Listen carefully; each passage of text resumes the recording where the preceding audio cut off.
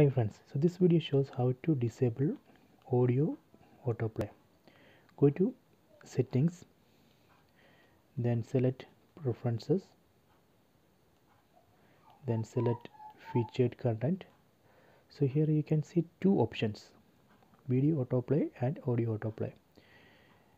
Right now it's both are on.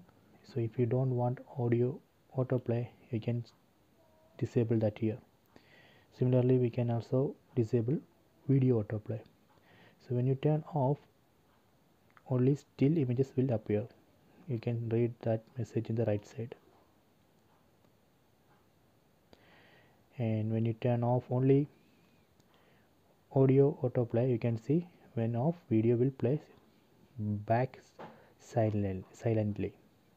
So this way we can turn on or turn off video and audio autoplay.